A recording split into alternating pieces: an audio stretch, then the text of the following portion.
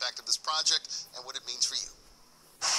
In the Northland off of US 169 near I 435, work is already underway on what will be the new location for an $800 million facility.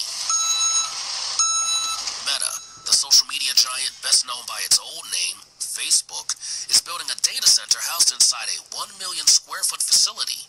We got our first look at it during a press conference at start seeing big tech companies come here making a footprint, that means other people are going to follow. But what inspired Meta to make the move to Missouri? Kansas City was a no-brainer for us. It has so much to offer.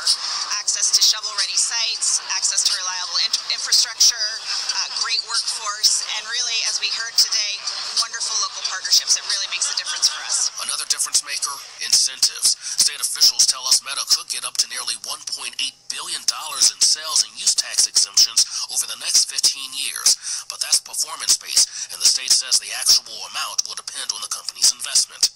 So, as a taxpayer, what's the benefit to you?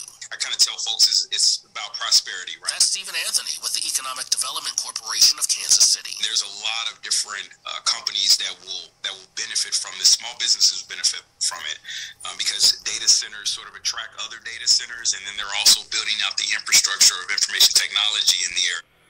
Uh, not to mention that um, any type of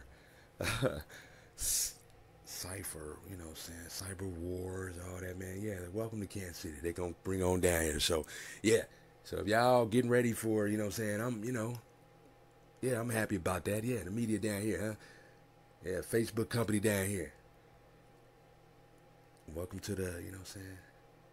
I think it's gonna be a little bit more underneath the sleeve and what we thinking about, you know? They're not telling us everything, but I'm gonna tell you though, cyber wars and anything like that. Come on, man. Kansas City. You know, all money ain't good money. That's what I be thinking. Another benefit, jobs. Up to 100 positions said to be supported by the development. Meta says that this project will be supported by 100% renewable energy and is expected to be finished by 2024. In Kansas City, 2024. Yeah, y'all go get your job on down in there. Boy, boy, boy. This is going to be very interesting about this one. Subscribe to the channel. This is Ken.